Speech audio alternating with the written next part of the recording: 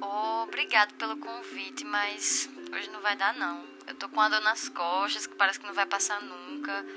Já tem mais de um ano, mas dá pra aguentar, sabe? Só que hoje não tá fácil não. Mulher, tome um remedinho que passa. Eu tenho umas dores assim também. Vou te passar o nome e você pede na farmácia. Não precisa nem de receita, é tira e queda. Esse diálogo pode ser fictício, mas precisamos admitir que exemplifica uma situação bastante comum. Quantas vezes já tomamos remédios por indicação de um amigo ou parente? Quantas vezes já compramos nós mesmos remédios para dor sem prescrição médica? A automedicação parece um caminho mais curto para o fim da dor, mas quais perigos estão escondidos nesse atalho?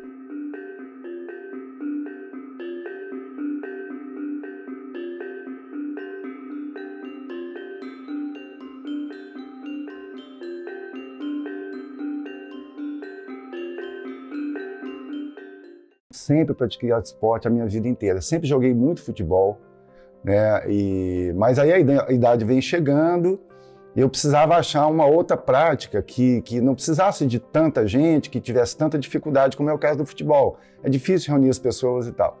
Aí eu comecei o tênis. E aí foi onde começou os problemas por conta do impacto, né? O tênis é uma atividade que gera muito impacto no joelho. E eu tive que parar por conta das dor, da dor que eu estava sentindo, principalmente no joelho esquerdo. Até um feriado, né? Dia dos professores, eu fui com meu genro e minha filha para Lagoa Redonda. E lá nós fomos subir as dunas e logo em seguida comecei a sentir as dores e as dores foram aumentando.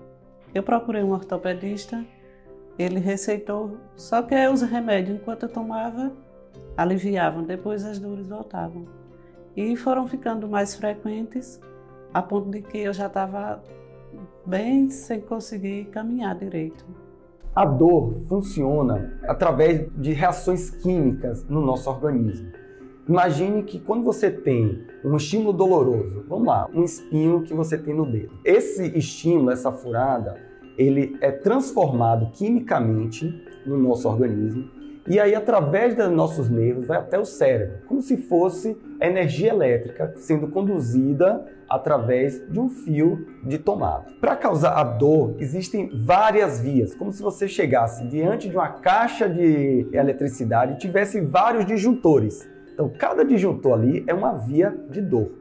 Os analgésicos, por isso que existem vários tipos de analgésicos, eles vão especificamente desligando esses disjuntores. Então, se você toma um analgésico e aquele disjuntor está ligado, ele vai bloquear aquele disjuntor. Agora, o problema é o seguinte: qual disjuntor que está ligado, nem sempre a pessoa leiga sabe qual é.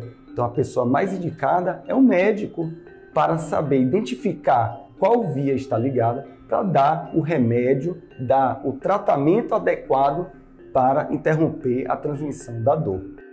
Isso foi o que ocorreu na partida de futebol, que mostramos anteriormente.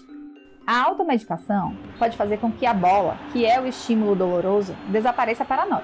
Mas para o nosso corpo, representado pela torcida inflamada e pelos jogadores exaustos, ele continua lá. Essa permanência em desequilíbrio traz malefícios para o nosso organismo e pode tornar uma dor simples um problema complexo.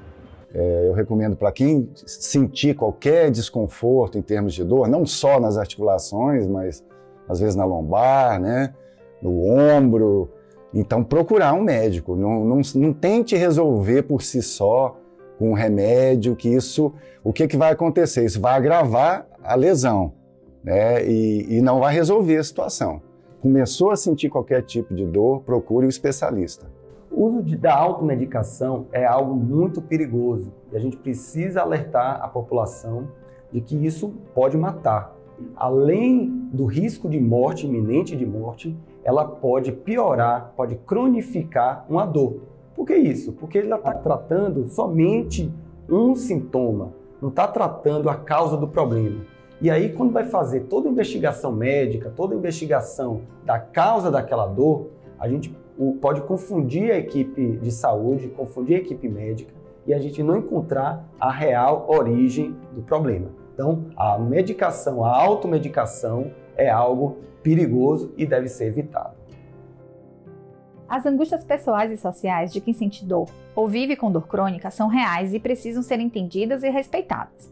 A busca pelo fim da dor é mais do que justificada, mas já deve estar bem claro que a tentativa de resolução dessas questões por conta própria, sem o acompanhamento de um profissional, não é o caminho adequado. A automedicação não é um atalho, mas sim um obstáculo. Uma vez que compreendemos isso, surge um novo questionamento: como a medicina costuma lidar com a dor?